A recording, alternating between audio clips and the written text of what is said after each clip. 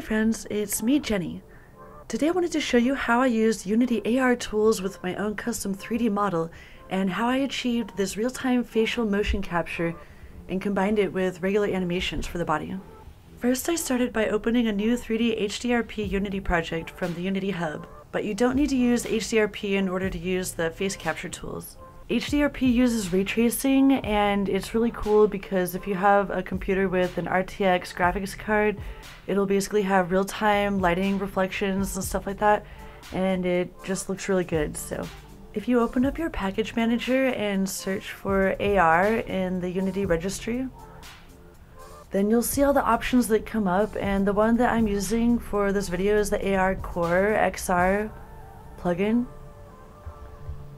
You can refer to the documents to see what the plugin has to offer, and this is where I learned more about facial tracking and the AR tools.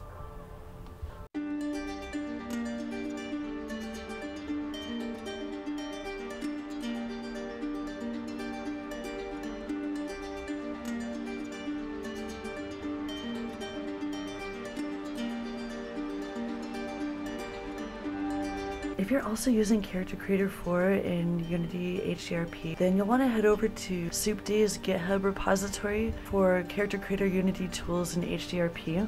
You'll also want to get the auto setup for Unity from the Reallusion site.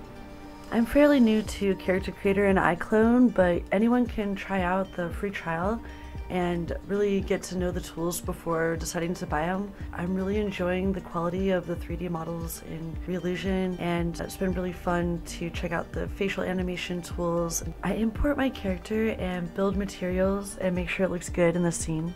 Make sure that your model is set to humanoid and add these components for face tracking. One thing I want to make sure you know about is that if you unselect head rotation and position, then that'll solve a problem where the head will get all crazy.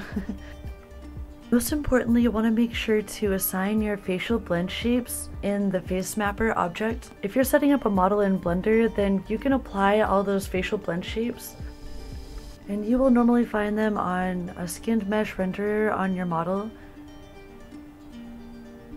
in my example, it's on the main body mesh is where I'll find the skinned mesh renderer and that has all the facial animation blend shapes.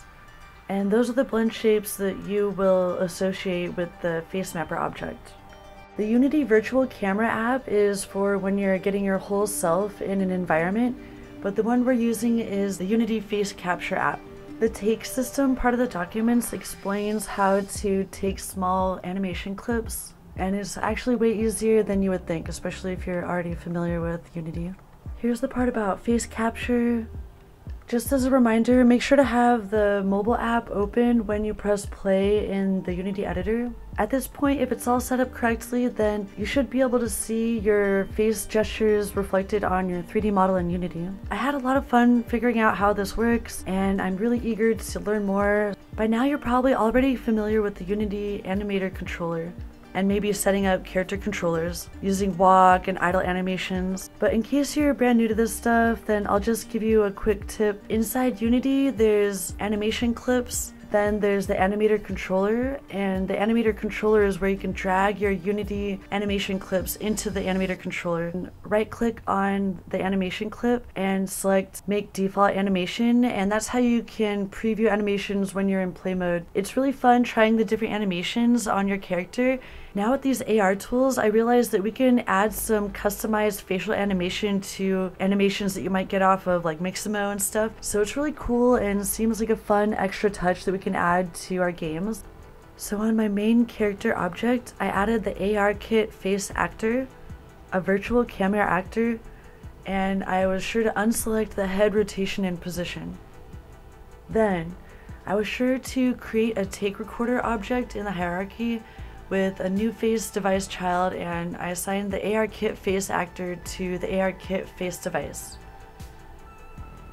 The Take Record tool has some other features like being able to record little sequences and add them as an animation to your character. Refer to the documents to learn more and please let me know if you find out anything awesome when it comes to learning about these AR tools. If something seems like it's not working then just go through and make sure that everything is assigned properly